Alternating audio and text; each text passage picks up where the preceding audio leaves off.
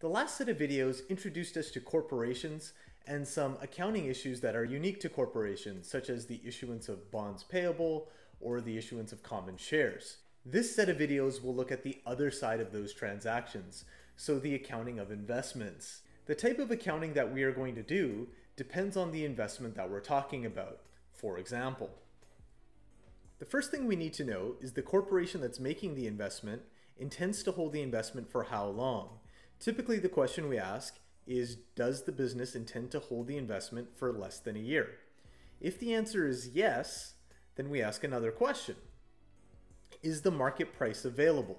If the market price is available, then we will use something called the fair value method. If the market price is not available, we'll do what we've been doing all along up until this point, the historical cost method. Now, what if the business does not intend to hold it for less than a year? Or worded another way, what if the business intends to hold it for longer than a year? Well, then we have to look at the ownership percentage. Does the business own less than 20% of the shares of the company that they're buying shares in? If they own less than 20% and the market price is available, we will once again use the fair value method. If the market price is not available, we will use the historical cost method. If the business intends to buy an investment and they'll own between 20 to 50% of the shares, we will use something called the equity method of accounting. The equity method of accounting is something we'll cover in another video. If they own over 50% of the outstanding shares, we'll use consolidation.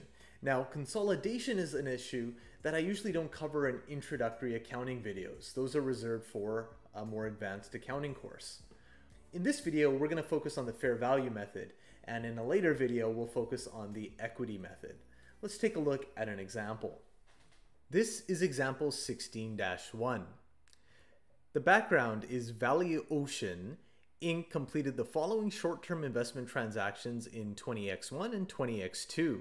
The required is for us to record the journal entries for each transaction below. On December 5th, purchased 2,000 shares of STI Limited for $35 a share, with the intention to sell the shares in the following year. The brokerage charged $250 for the transaction. Key pieces of information from this transaction how much was purchased, and the fact that they intend to sell the shares within the following year. That means we are going to use the fair value method of accounting. We can begin by debiting the short-term investments account for 2000 multiplied by $35 a share. which is $70,000. We should also record the brokerage expense of $250. And that means the cash outlay would be the sum of 70,000 plus 250 or $70,250. The next transaction is on December 17th, where a cash dividend of 70 cents a share was received. So we can debit cash for 2,000 shares, and on each share, 70 cents was received.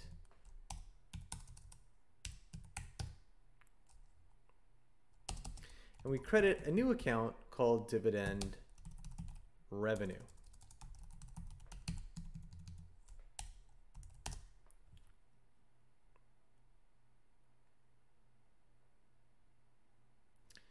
At the end of the fiscal year, STI Limited shares had a market price of $38.50.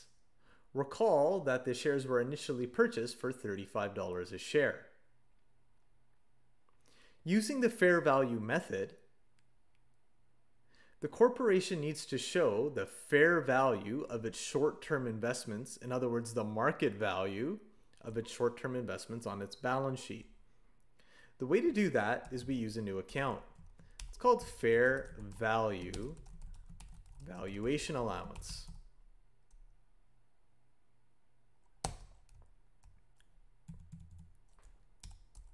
And this will be a companion account to our short-term investment account. we can take the 2,000 shares that we own,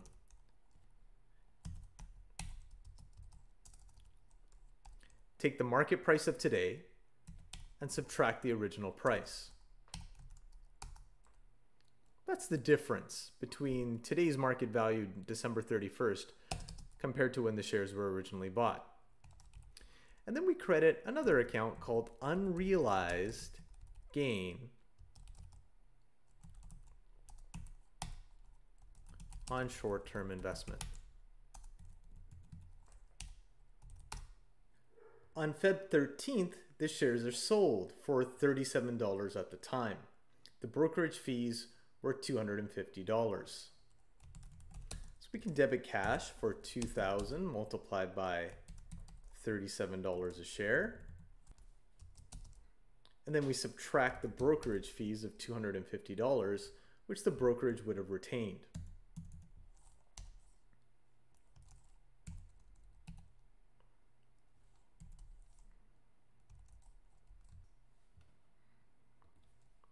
We debit the brokerage fees for $250. And then we credit our short-term investment account for the original amount, which you'll recall was 70,000. We also have to remove this fair value valuation allowance.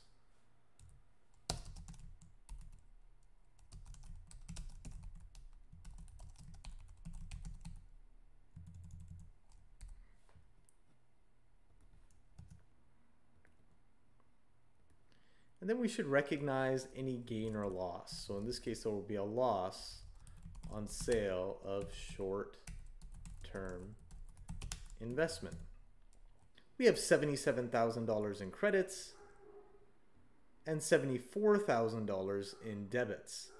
The difference here would be 3,000.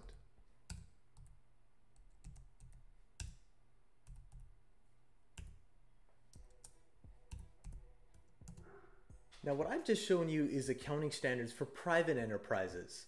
International Financial Reporting Standards uses a different set of accounts. You can use an account called investments at fair value through profit and loss, or another account called investments at fair value through other comprehensive income. I'm keeping this video to accounting standards for private enterprises, so using the fair value valuation account is good enough.